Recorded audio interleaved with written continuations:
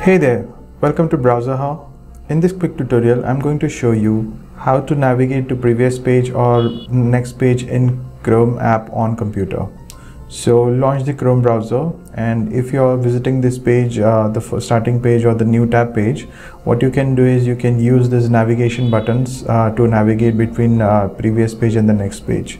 So we'll use this example as a browser how. Right now I have navigated from this new tab to browser how and you can see the right facing arrow or the forward arrow is disabled. However, the backward facing arrow is still available.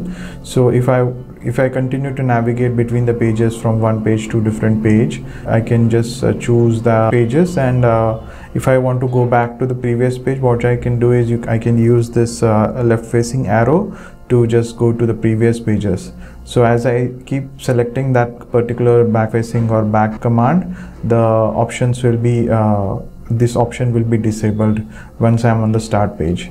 Now similarly, I, I have this option enabled because I have navigated to backward. Then I can choose this uh, right facing arrow to navigate forward. So in this way I can navigate backward and forward. Now there is also another option where you can just select and hold this uh, back facing or uh, forward facing arrow and you can directly choose the website that you want to access. Now say suppose I want to do not want to access this page but I just want to access the directly home page.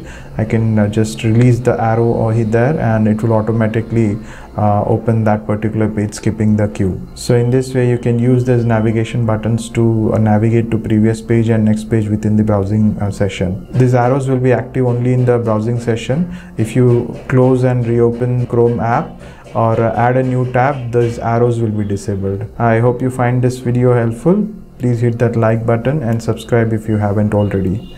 Thank you for watching. Cheers.